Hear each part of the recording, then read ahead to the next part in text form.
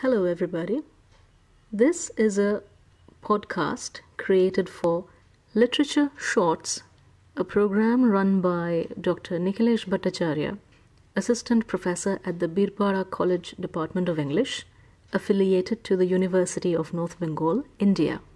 Now, I'm the speaker for this episode of this podcast series, and I'm Dr. S.D. Chaudhuri, Assistant Professor at the Kalinga Institute of Industrial Technology, Bhubaneswar, India. So, I must begin by thanking Dr. Bhattacharya for running such an innovative program. And though this is primarily aimed at the BA English students of Birpara College, anyone else who listens to this sort of thing for fun is most welcome. So, today I'm going to talk about one of my favorite texts in English literature Beowulf. Now, when I say Beowulf is one of my favorite texts, students and teachers alike say, Oh, Beowulf, it's so difficult, it's so boring. Why do you like it so much? Well, uh, let me give you two simple reasons. One, I like monster stories, I like mythology and fantasy.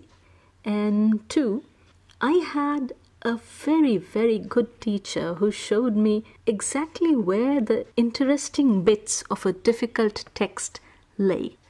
So, today I'll be talking about um, some aspects associated with the monster antagonist known as Grendel in Beowulf, and I'll go on to talk a little about some other monsters, maybe, if time permits.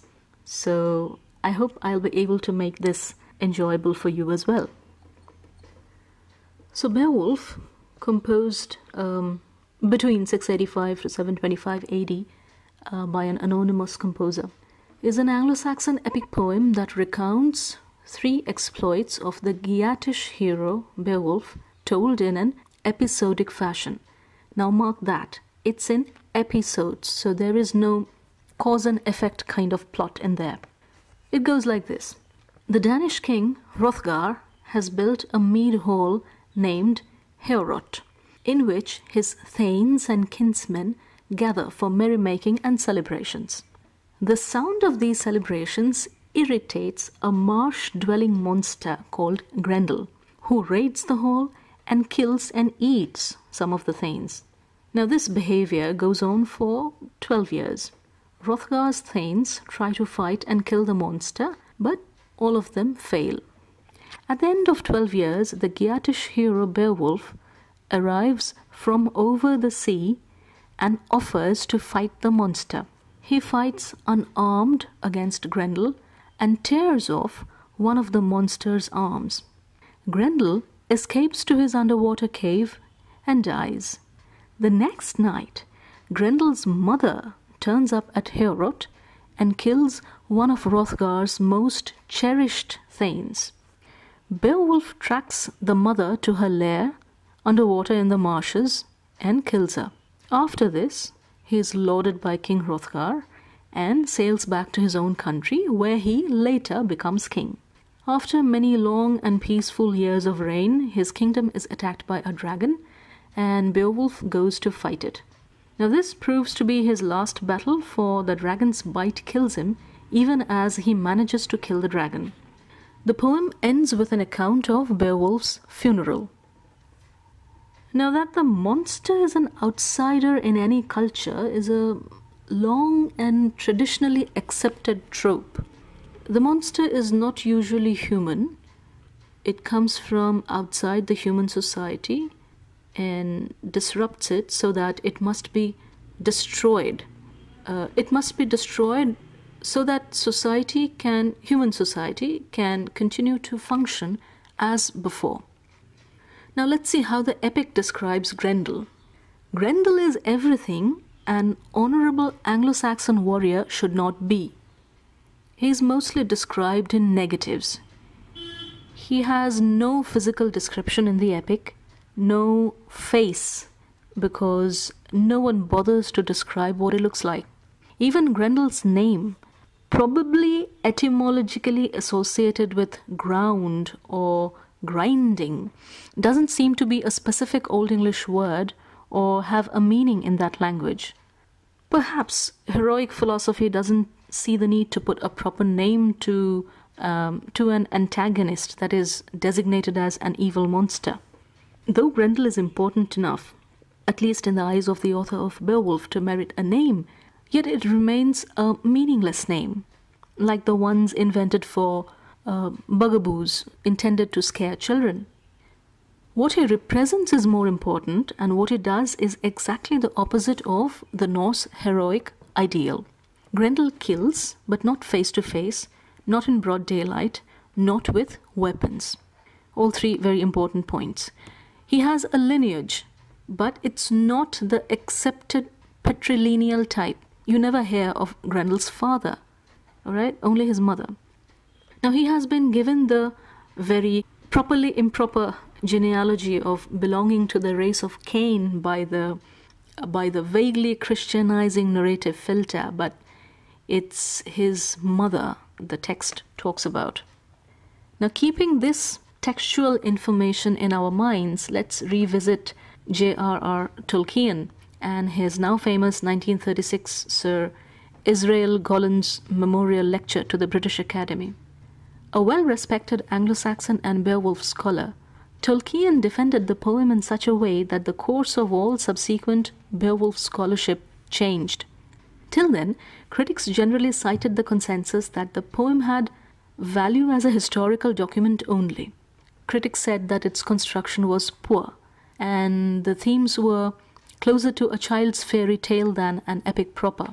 Tolkien defended the poem as a literary piece, asserting that the poem's construction was not poor but poorly recognized. The structure didn't intend to trace a straightforward biography of Beowulf. It simply put two halves of an adventure in balance youth and old age, success and failure, as symbolized by the ventures against the troll, that is, Grendel, and the dragon, the unnamed dragon. Tolkien defended the dragon in particular, saying that it stood against all the values and bonds that the poem advocated. It would seem that Grendel too is featured in much the same way. In Beowulf, Grendel is called by many names, each having a specific import. He is referred to as Sir Ellengast, the bold demon, Landbuend, the cave dweller, and Sir Grimmagast Grendel Harten, that is, the grim or cruel spirit called Grendel, but is also called the miserable man. See the contrast monster, man, demon, man is called the mearcstapa, that is, the border wanderer. fifelcyn, that is, monster race, but also Wonsali Ware, the unhappy man. Mark the contrast again. Again, in line 120 onwards in the poem, Grendel is described like this One shaft vera wicht unhelo, grim und gradig, reok und rethe. So this means that he is a creature of damnation, grim and greedy, fierce and cruel, but still an unhappy man, one shaft vera. He is the Feorch Ebalo, deadly evil, Deatskua, death shadow, and feond mancynnes, the enemy of mankind. Perhaps his most damning epithet stems from a description of his moral iniquity, like goddess on Sakan, God's adversary. But the word used most often to refer to Grendel is the simplest as well as the most ambiguous word. He is simply called Sa Aglaka, that is, the terrible one. Now, as you can understand, this is a morally neutral description. This is not particularly evil, particularly good, morally neutral. And it is also sometimes used for heroes. But Grendel is not seen as neutral. He is portrayed as a foe of mankind and the adversary of God, almost at the level of Satan, definitely evil. As it can be seen in the text, lines um, 86 to 90 clearly describe Grendel's motivation for raiding Hrothgar's hall. When he hears the poet in the hall praising God's act of creation, Grendel suffers. Now it's surprising that a creature uh, depicted primarily as animalistic and living in a swamp should be upset with something that's not even his own business, unless it's the decibel level that bothers him. Tacitus, or Tacitus, whichever way you choose to pronounce it, Tacitus records the Germanic people as war loving, almost always carrying weapons, and spending little time on constructive work like building or farming. Their morals and codes of loyalty were very strict. So, such a people would obviously hold this code of loyalty to be higher than everything, even authority, all authority. They ruled themselves with the kings they chose for themselves. So bonds of loyalty were mainly of two kinds familial loyalty and loyalty to the overlord or king. This latter formed the central idea of early Germanic society. A war leader could have a band of warriors who would be loyal to him to their deaths. Now, such loyalty did not come free, though. The Thanes served their overlord and were given gifts as reward. The higher they rose in the hierarchy, the more loyalty they owed, and the gifts became richer. For the Thanes who were related to the king, this loyalty became doubly binding, as their gratitude and loyalty were intensified by their um, ties of kinship. Now, these concepts probably led to a cultural fascination with betrayal of allegiance and violation of kinship. For the most Tragic stories in the Germanic culture involve such acts. The tale of Siegfried would be a common example.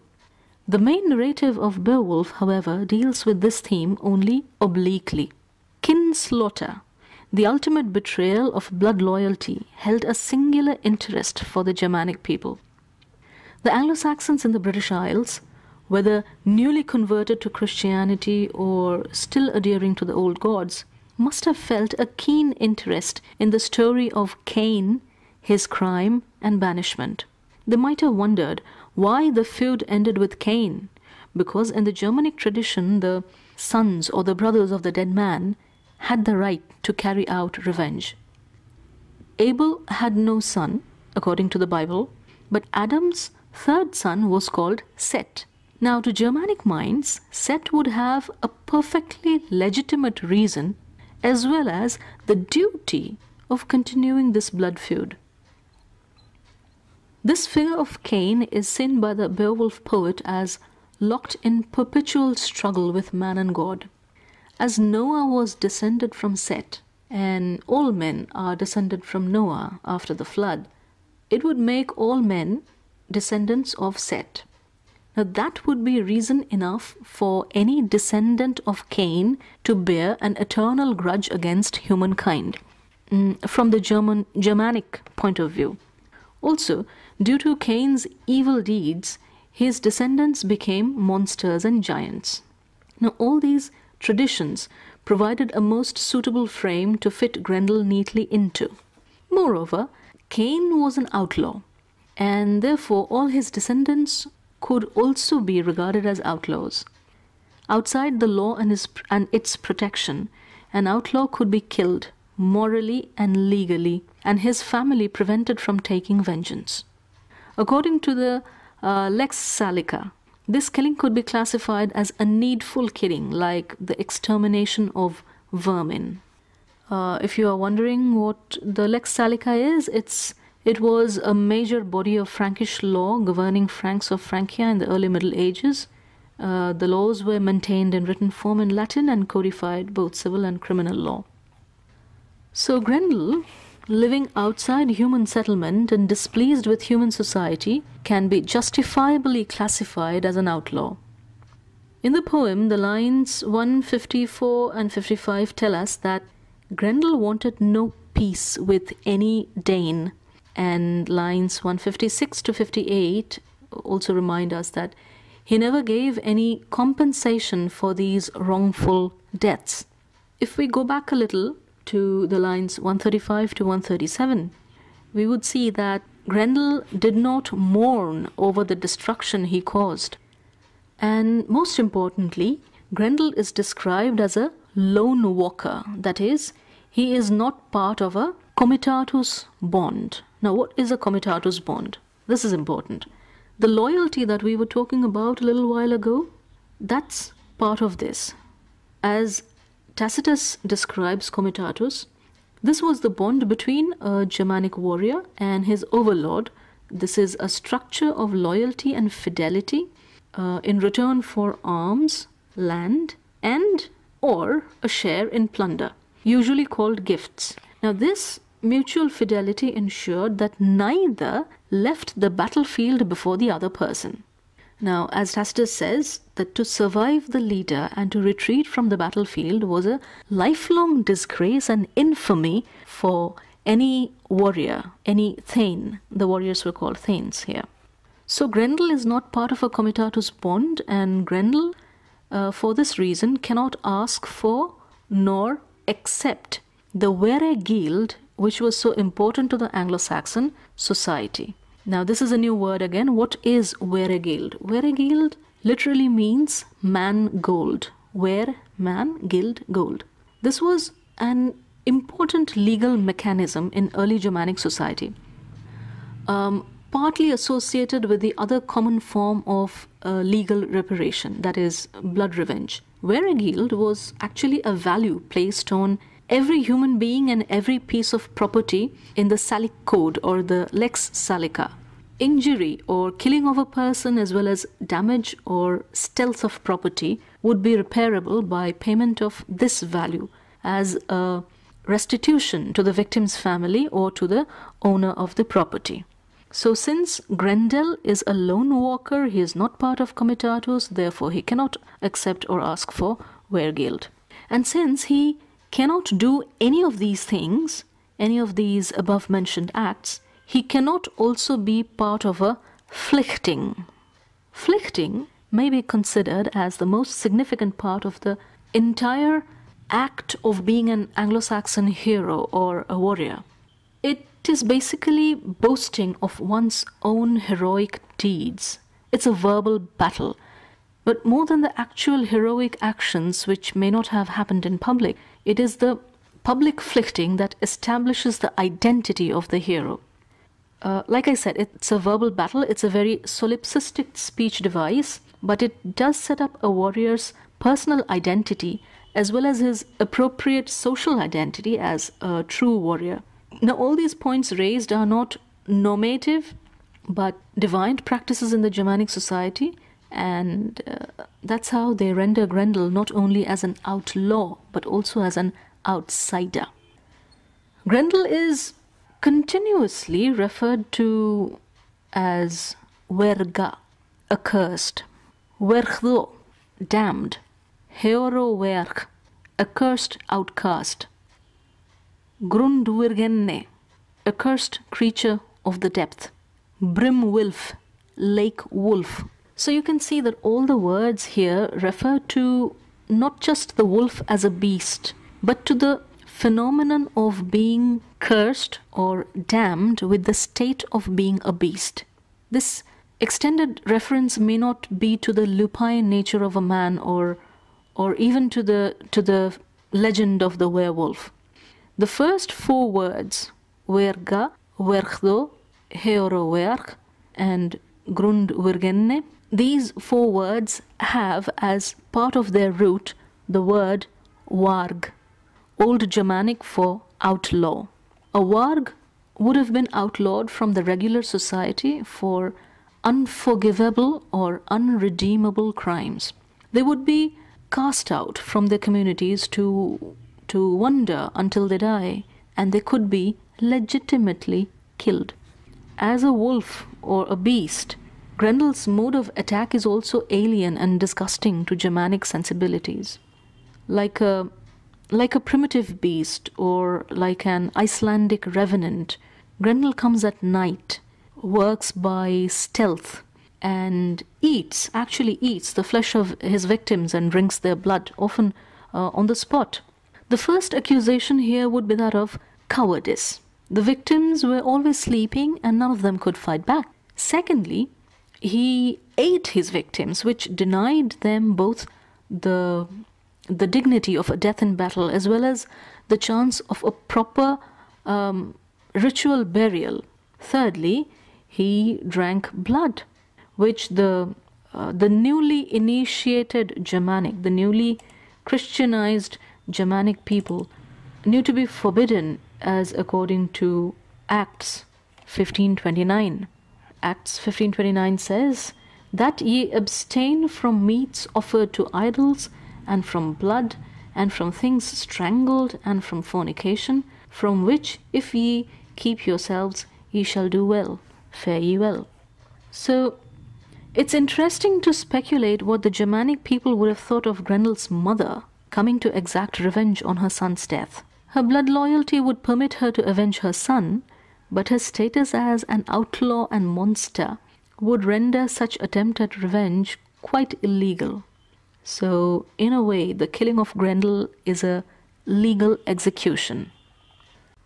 Within the Christian church tradition, evil, when depicted as abstractions of a religious nature usually takes a grotesque form in literature and artistic descriptions.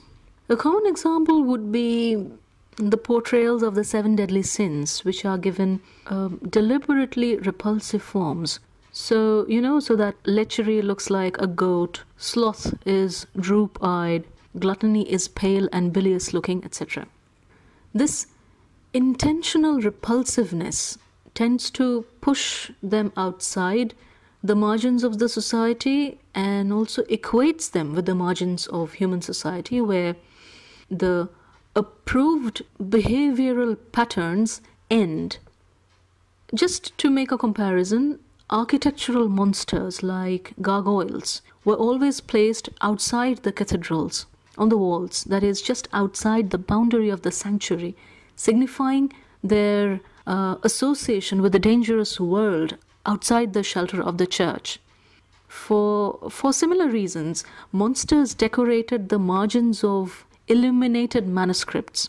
So it's highly probable that Grendel too is meant more for contemplation than function, like the uh, personifications of evil that I have just mentioned.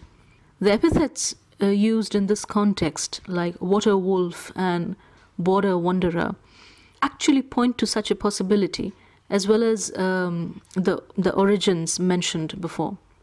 So Grendel is, you might say, Grendel is made out to be more of a monstrosity than uh, he is born a monster. Later, as there came to be certain differences between the two European Bible translations, the Cain tradition actually developed in different directions in medieval times. While the Greek Septuagint tells of the angels of God mating with the daughters of men, and one wonders were they the daughters of Cain, thus creating gigantic and monstrous figures. The Latin Vulgate mentions the giants but not their origin. In the Roman Catholic tradition, the offspring of Cain were seen as evil, yes, but gigantic only in deeds, not in their physical size. But in some instances uh, where the giants were still seen as real giants, they were explained by the invention that Cain was the son of Eve and the serpent, that is Satan, so not of Adam. The other minor tradition concerning Cain and Abel comes from an apocryphal book called the Book of Adam and Eve, which tells of Eve having a dream in which Cain drinks his brother's blood.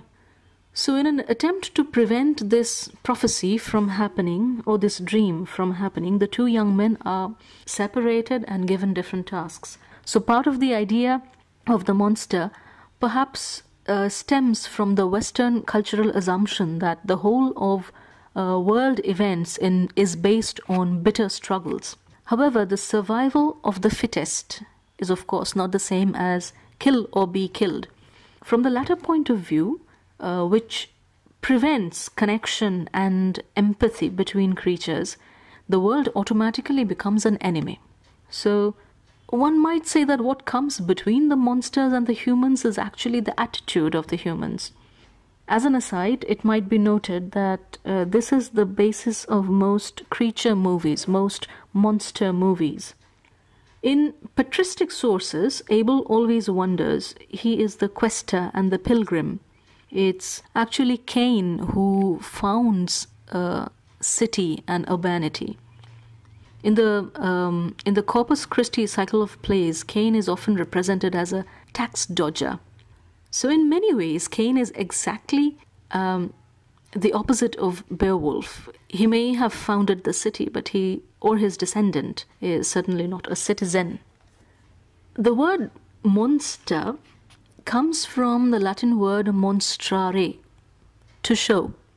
The image of the monster um, demonstrates so monstra, the same root, demonstrates to us the limit and uh, predictably instructs us not to cross it. As such, a monster is predictable. It may be called a somewhat um, hybrid creature, usually represented as a combination of human and animal, you know, uh, often humanoid in shape but animalistic by nature, that kind of thing. So it's an amalgamation of natural elements, but what renders its combination unnatural is its context. Now, when I say humanoid, I mean that any aspect of humanity and human behavior that can be uh, distorted to produce an effect considered um, eerie or unnatural or inhuman. It may range from a way of moving, a way of talking, uh, one part of the body that appears different, uh, the origin of the creature, its size, its habit, its habitat, and especially its diet. The quintessential monster uh, of the human imagination is certainly not herbivorous. Monsters are generally carnivorous, and uh, many of them are specially addicted to human flesh. It's strange that the the fear of a of a normal carnivorous animal, say a tiger, though great, doesn't quite affect us the same way as the idea of a werewolf. A part of this terrible fear comes from the possibility of um, contamination and eventual transformation from the bite of the monster and apart, I would argue, from the idea that the monsters are in some part human, that is, from the horror and disgust of cannibalism. The fear of the monster also comes from the the primal fear of teeth, of being eaten physically and also inwardly as the soul gets consumed. Apparently, it's, it's um, equally scary whether the skeleton remains or the outer flesh. Perhaps more so in the latter case, because it seems to consume the identity of the victim, leaving only a shell or a husk behind. So, this is the concept of uh, the zombie and the golem um, and this is the idea adapted by J.K. Rowling in Harry Potter series in the in the soul-sucking kiss of the Dementor. If you know of the Arabian monster called the ghoul, uh, which is a kind of a living creature, it's also depicted as eating the flesh of the dead. So the zombie is an opposite of a human being. It's not living, it is not sentient, it is not conscious, and it is not capable of self questioning. All monsters, all monsters that the human imagination has invented are all or some of these non living, non sentient, non conscious, and incapable of self questioning. A zombie lacks the experience of the events that scientists call qualia, that is, the conscious experiences that are separate from physical processes right? The experiences that make up our identity ultimately become a part of our identity. So a zombie has no sense of self now this is a defining characteristic that's often confused in literature and especially in uh, movies but it's more fundamental to the zombie myth than death as it's quite possible to have a zombie that's not actually dead moreover it's not possible to create a zombie with a sense of identity because that is, by its very definition, self contradictory. Now, this uh, theory is a corollary of the hypothesis that death is the end of all sense of individual identity. Uh, the other category, vampires, they represent our fears of degeneration into primitivism. It's a fact to be taken note of that the vampire hunters depicted in literature and uh, on screen in general represent uh, civilization. They represent a definitive social order.